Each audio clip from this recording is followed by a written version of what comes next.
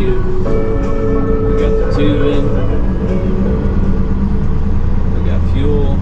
We got gas. Ready to go. Fog's cleared up a good bit. Alrighty. We are here. Cleaning out the gutters and washing the brick. So this and up to there.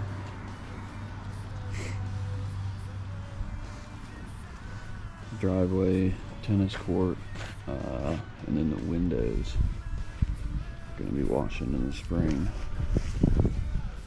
You know, something I didn't notice looking at this originally. This is in really bad shape. The shutters need to be uh, need to be repaired. That wreath and that wreath popped off their screws. So I know up there there's gutter guards.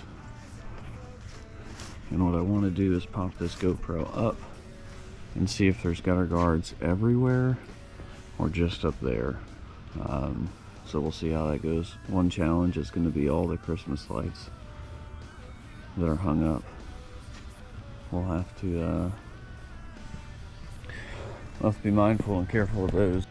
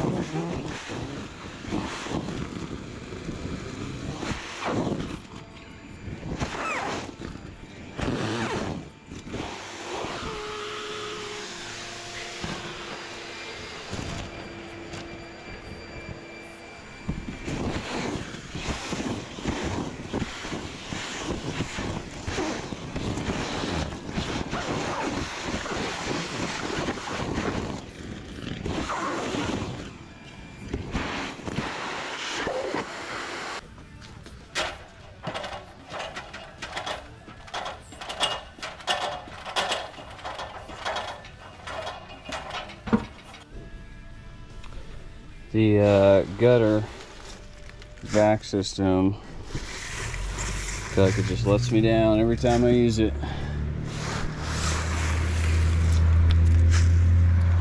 The uh, bucket cyclone thing